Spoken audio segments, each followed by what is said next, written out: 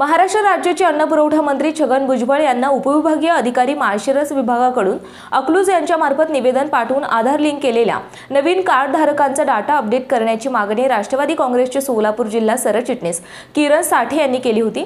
त्या मागणीची अन्न पुरवठा मंत्री छगन भुजबळ यांनी तात्काळ दखल घेतली आहे. पहा महाराष्ट्र राज्याचे अन्न नागरी पुरवठा पुरवठा मंत्री छगन भुजबळ काय म्हणाले ते? हॅलो? हा बोला. काय काम होतं? हां भुजबळ साहेब आहेत का स्वतः? हा बोला. साहेब किरण साठे बोलतोय अं, आपल्या जिल्ह्यात सरचिटणीस आहे सोलापूरचा राष्ट्रवादीचा. साहेब विषय असा होता की अं, काय लोकांनी आधार कार्ड लिंक केलेले आहेत परंतु त्यांचा डाटा ऑनलाईन दिसत नाही. हा?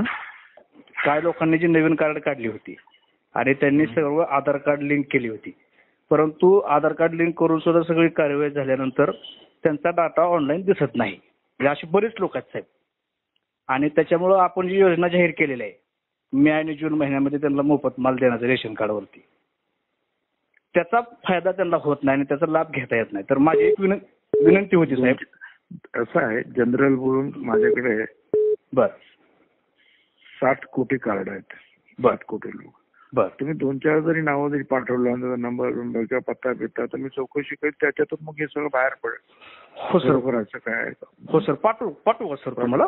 पाठवून. व्हॉट्सअप करू सर ठीक आहे. ओके सर ओके धन्यवाद सर धन्यवाद. रॉयल मीडिया न्यूजसाठी विशेष प्रतिनिधी Sachin Randive Solapur. Subscribe now and press the bell icon. Never miss an update.